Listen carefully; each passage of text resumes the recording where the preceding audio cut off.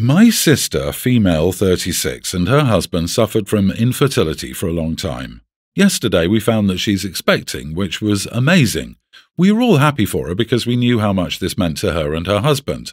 They've been through so much heartbreak and disappointment in the past. She decided to gather the family and make the announcement at my parents' house. My boyfriend and I were invited too.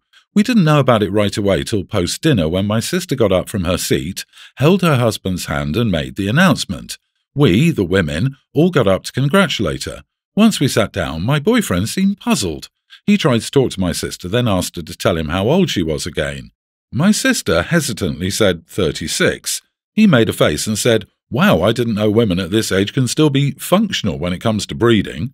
Suddenly, silence took over, my sister looked down, and then her husband lashed out at my boyfriend asking what his problem was. My boyfriend tried to mumble something, that's when I loudly told him, shut the heck up, his name.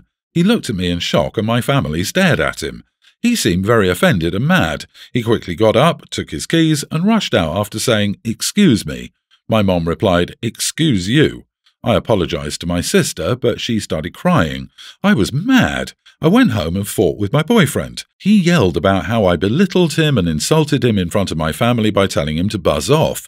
I told him that what he did was not okay and ruined my sister's long awaited announcement. He said he was giving facts, not personal opinions. I told him I did the same then. He got more agitated and said I owe him a huge apology after publicly insulting him. I replied that he should have held his tongue, facts or not. He went outside and then started giving me silence till I apologized for what I said. Am I the idiot? Not the idiot. What facts does he think he was just saying? The fact that he's completely ignorant about women and fertility? He should be embarrassed. He's a misogynist that needs to be thrown out. Functional? Breeding? Does he consider women animals? Jesus. If he's offended and embarrassed, he shouldn't have said such stupid things. Some people need their feelings hurt. The more concerning thing here is that A. He has no regard for your or your sister's feelings, and B. He's punishing you for not giving him an apology. He's embarrassed. Did he think about you, who was embarrassed in front of your family because of something you have no control over, or your sister, whose big announcement was ruined by a childish and hurtful comment? He shouldn't be so self centered. Giving you the silent treatment afterward is super manipulative. Yeah, the sister is, in fact, 36 and pregnant, so there's nothing factual about what he said. What fact does he think he shared with you? That he's plain stupid? I had my third at 38. Many, if not most women, can have children into their 40s and even 50s. 36 isn't particularly old to be having a child. It's very normal. Ditch the boyfriend, OP. Your boyfriend is a massive idiot who does not deserve an apology. I think he's lucky he left before Sister's husband got to him.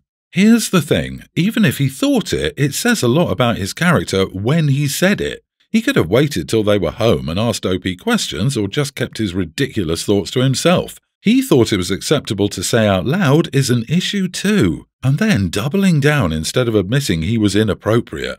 There are lots of things wrong here. OP, you mean your ex boyfriend, right?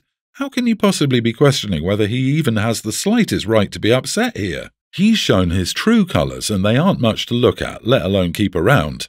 You'll make the whole family sigh in relief once you announce that he won't be making rude and misogynistic comments anymore. Ditch the whole guy, OP. Don't pursue a future with someone that awful. Okay, so my friend has been planning her wedding for nearly two years, and she wanted me to be a bridesmaid. Unfortunately, some things have gone down over the last couple of years. A lot of her friends drifted apart, some wouldn't be able to attend for medical reasons, and she fell out with a few. Out of the nine bridesmaids she'd originally planned, only me and three other girls were attending. The day of the wedding was hectic. Bride got overwhelmed, so the other three bridesmaids and I whipped everything into order while she calmed down. Unfortunately, her hairstylist had cancelled, so I reached out to a friend and asked her if she could swing by last minute and help out. She did her hair, and apparently the bride didn't like it. The bands she was using were coffee coloured, not white. She didn't have white, and the bobby pins didn't match her hair colour, and the ribbons weren't curled right. She said to my friend, Are you an idiot? And I'd heard enough. I understand that it was stressful, but there's no need to name call someone who got out all of their equipment last second and drove over 20 minutes to an event of someone they didn't even know as a favour, not even paid work, though I did offer. I told the bride she had to calm down and she couldn't speak to my friend that way, but instead she just ended up yelling at me as well. I told her we were all doing the best we could, and she called me pathetic and said it was outrageous that I be lecturing her on the most important and stressful day of her life. She said that she had half a mind to cut me as a bridesmaid, so I told her I'd save her the trouble and left. The aftermath was insane. I had the other three bridesmaids calling me to tell me I was an idiot, and I was so selfish I couldn't put up with a little attitude for a few hours because she was stressed.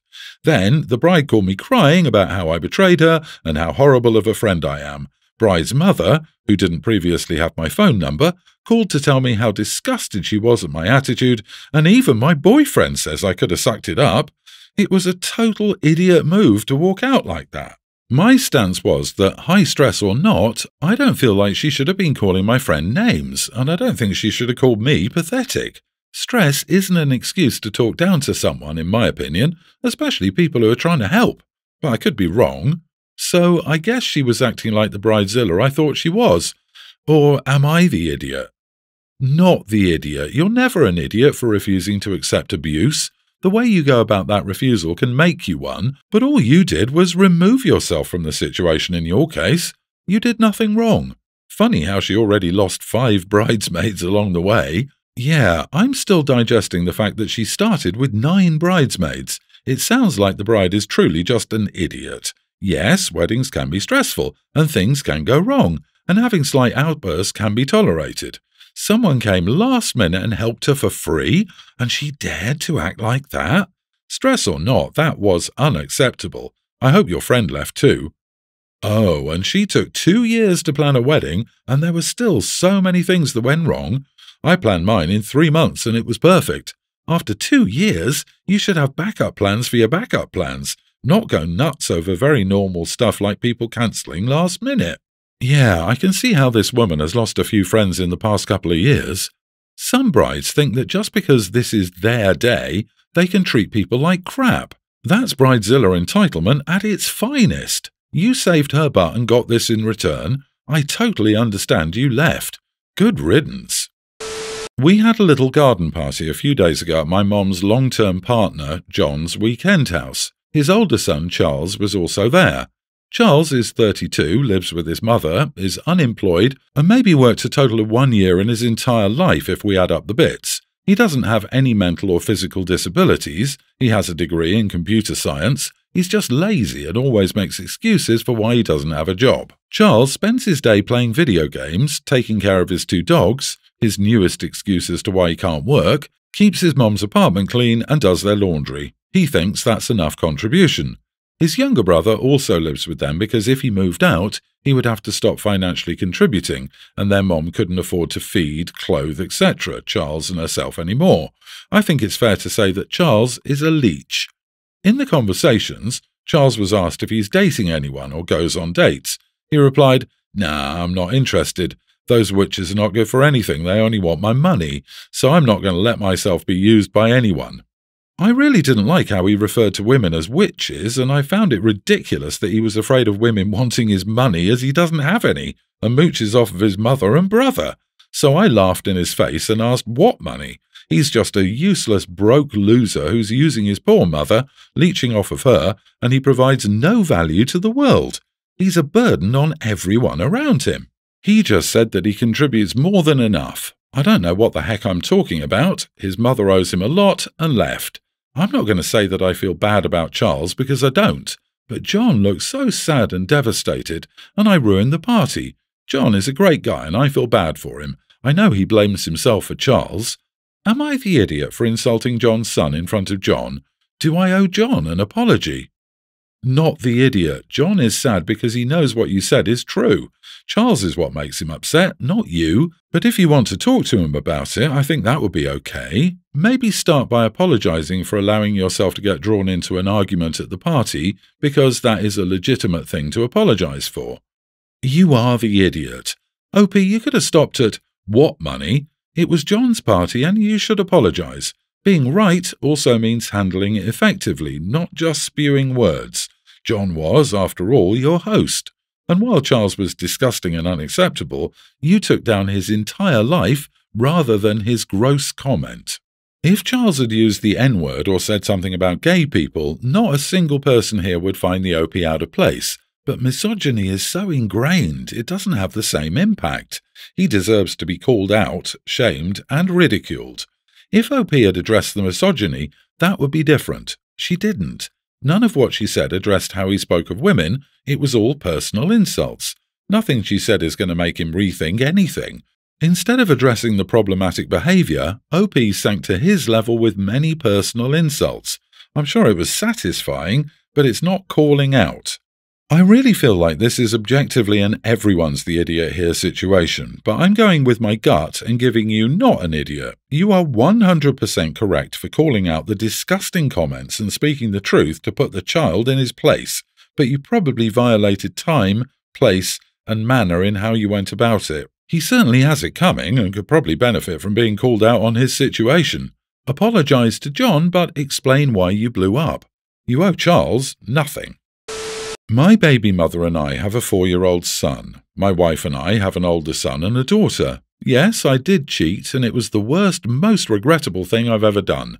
My wife knows, and we're working through this. It only happened once. I found out she was pregnant, and now I'm doing my best to be a good husband while also fathering my third child. So my baby mother is weird about this. She's always wanted the family life and obviously didn't find this with me. However, she wants in some way to feel part of my family, which she isn't. Part of that is through our son. My wife and I have a very solid agreement that I have no unmonitored contact with her, and we talk about nothing but our son. My wife has never met my other son and has no desire to. She also doesn't want our kids to feel that he's part of our family. My baby mother has been pushing towards this. She wants our son to feel like he has siblings, which, yes, they are his blood, but I wouldn't say they're family. Honestly, I don't even think he cares. I think this is more his mom's attempts to weasel her way in between my wife and me and separate me from my family again. However, I'm taking a hardline stance against that. Recently, I went to pick him up from school to have a day with him, and he told me that his mom had been telling him to tell me that he wanted to meet his older brother and sister. It was very clear she was putting words in his mouth to sway me. So, when I dropped him off that evening, I looked her dead in the eye and told her, you are not my wife, and my kids aren't going to be involved in anything that has to do with his. Our son will not meet my other children until they're all adults and can understand this. She lost her crap with me and it exploded into a massive argument. Am I the idiot? You are the idiot. First of all, you broke your marital vows. Your contempt for your son's mother is gross and misplaced. Plus, you're punishing your son and his mother for your crime. I hope you realize that once they're grown, all three of your kids will know what you did and how you punished your youngest child for your infidelity. Also, I don't believe for a single moment that you cheated just one time and ended up getting her pregnant. You're only admitting to that one time, and your wife may not be smart enough to see through the lie, but the rest of us are. My favourite part was when he said she was trying to separate him from his family again. OMG, she's a harpy seductress, and OP couldn't help himself because of her wiles. It's obvious who the wife blames for her husband's infidelity, talking about this woman like she forced him to cheat with her. I feel so sad for his kids. Yes, he has some hard work to get his wife to trust him again, but there's a small child that needs his father, and his father has another family. These kids deserve to know each other. You can keep baby mama and wife as far apart as you like, but all three are your kids, and all three need a dad. So man up and deal with it. His wife is an idiot too, to be honest. She took him back, knowing he cheated and fathered another child, but wants to pretend his son doesn't exist and isn't a part of their family. His son is her son and daughter's brother. She stayed with OP, knowing he was still involved with his son. At this point, it is what it is. Her kids have a half sibling, if she wants to stay married to him, she needs to accept this child into their lives. And even if she doesn't stay married to him, she needs to accept that her kids may form a bond with his son. This is such a mess. Thanks to the Big C, all my classes are online via Zoom. Luckily, I've managed to stack all of my lessons on Fridays this semester. So attendance isn't 100% necessary, but encouraged. Since we're only three weeks into the semester and I'm trying to wrap my head around new concepts, I've also clocked into some bonus lectures that are recorded, but it's helpful to sit in on them live because it's extra engagement and I can ask questions. So basically, my Fridays are booked out from 9 to 5. 8 a.m., I took my dogs for a walk, said hi to the neighbour, and had a chat about our plans for the day.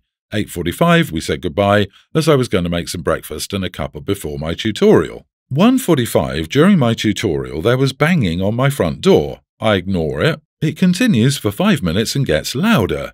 2.28, I get a text from my neighbour to tell me she just got fired from work because she needed a babysitter. Her regular cancelled last minute, and I didn't answer the door. She's a single mom and has minimal support. 6.30, I take the garbage out to the bins, and she flies out of her house to screech at me for being selfish. This gains an audience from surrounding houses. The neighbour across the street gives me dirty looks and comforts the crying neighbour, saying that I'm a selfish person. Said neighbour does not like me because of an incident two years ago where I would not let her borrow my unregistered and not safe to drive car when she was having an emergency. I just retreated into my house, and two hours later, I'm wondering if I should have just chilled at uni to answer the door or something. Am I the idiot? Not the idiot. Good employees don't get fired for having a childcare emergency. If she could text, she should have texted the first time instead of just banging on the door. No one answers a wild door bang when they're busy and not expecting anyone in the days of texting.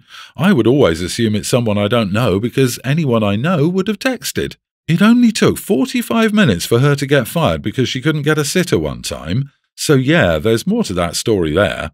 But regardless, you are in no way responsible for her or her child. I'm sure she's in a difficult situation, but that doesn't give her the right to dump her kid on you or make everything out to be your fault when things go wrong. Also, why didn't she ask any of her other neighbours? If they agree with her and think you're so selfish that you didn't take the kid in, surely they would have done it no problem, right? Poor planning on her part does not make an emergency on yours. The neighbour lashing out at you, calling you selfish since she lost her job for a no show, should be finding a more stable child watching situation than just a babysitter that can flake off at a moment's notice. There's probably more to that work situation than just not showing up one time. Sorry you had to deal with this.